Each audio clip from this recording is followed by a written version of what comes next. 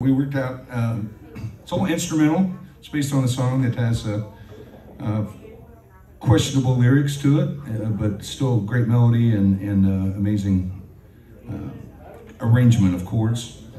And just the other night, while they're in their lesson, I said, uh, they play it at home a lot. I said, well, there's no reason to play it, not play it at the Moose Lodge. So I interjected another part to it, and this is what we came up with. This is, uh, who's the artist? Alice in Chains. The song title is Nutshell. So if you've heard in Chains Nutshell, see if you can wrap your head around this acoustic version of it. So we did like, she does three rounds, something like that. Yeah, you just start.